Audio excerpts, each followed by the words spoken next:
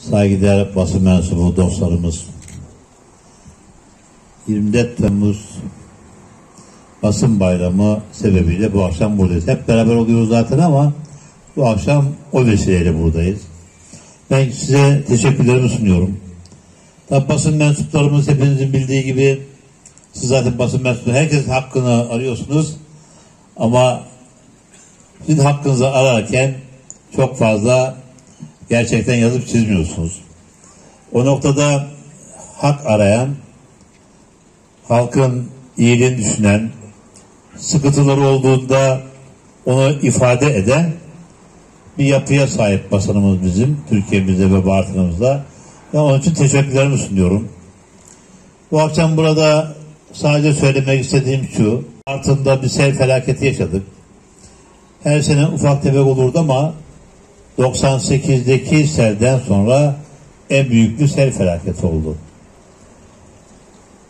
Bildiğimiz 948 tane konut, iş yeri, konutların altındaki depolar,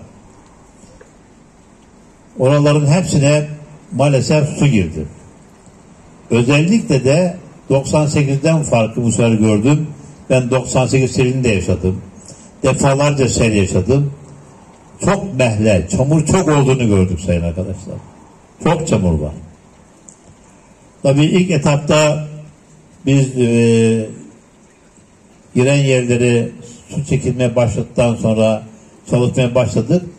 Ama Bartın'da Sayın Bakanımız Süleyman Soylu Bey'in gelmesi, İsmail Bakanımızın İşleri Bakan yardımcımızın gelmesi, Çevre Bakanı yardımcımızın gelmesi, AFAD ve diğer kurum ve kuruluşların gelmesiyle beraber buraya çok büyük bir akış başladı.